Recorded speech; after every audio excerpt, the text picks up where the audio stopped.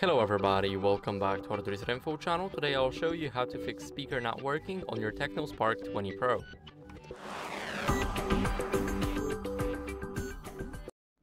So first, let me unlock the phone.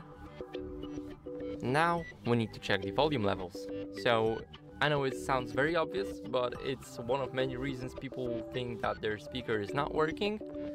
So make sure that if you go to sound and vibration, everything here, even the ringtones, are set to more than a half.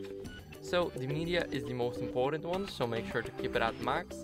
The alarm is not important and the ringtones and notifications should be at least more than a half. So keep it like that. Now if this didn't help, then what you guys can do is basically clean the speaker grill with a soft brush or soft cloth. Don't use anything metallic, you can only damage the grill and it can make things much worse. So starting next we need to go to the control center by swiping right from the top. Now here make sure that the Bluetooth is disabled and when Bluetooth is disabled we basically make sure that audio isn't rerouted to any other device like your earphones or maybe the car. So now what you guys can do is try to update this software because it can fix a lot of glitches including the speaker not working.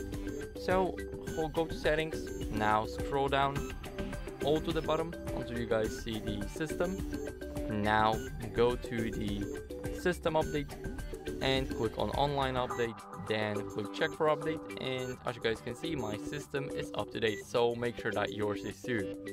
And if that didn't work then as a last resort i recommend you guys first backing up your data so go to backup to google drive and here make sure to click backup now. And after that click reset phone erase all data. Basically you will delete everything like your google account and personal information and any downloaded apps so make sure to do that backup. Now enter your password if you have one and then click erase all data right here. So that'll be it for this video. I hope it helped you and if it did then leave a like sub and a comment and i'll see you in the next one